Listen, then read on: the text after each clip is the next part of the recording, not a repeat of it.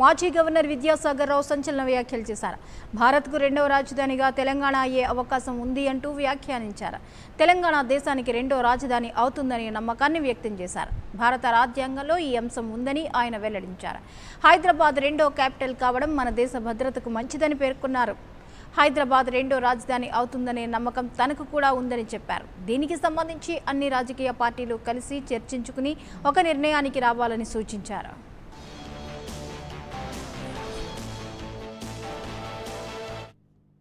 తెలంగాణ భారత దేశ దేశానికి రెండవ రాజధాని అయితే బాగుంటుంది అనేటువంటి విషయం.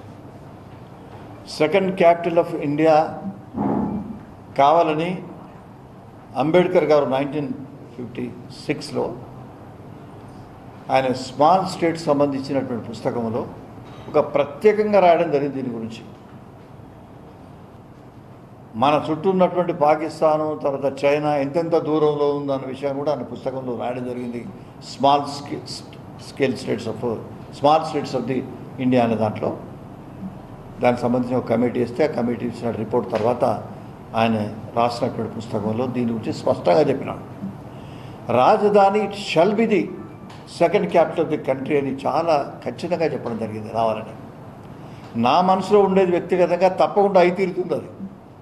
ఎందుకంటే కరీంనగర్లో కూడా అంటున్నాం మనం అనుకుంటున్నాం కాబట్టి డెఫినెట్గా భారతదేశానికి రెండవ రాజధాని కాబోతుంది.